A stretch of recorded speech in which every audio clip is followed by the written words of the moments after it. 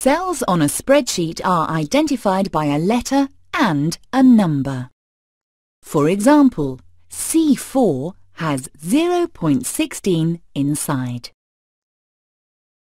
A formula can be put inside a cell by first typing equality sign and then the calculation. In this cell the formula is B4 times C4.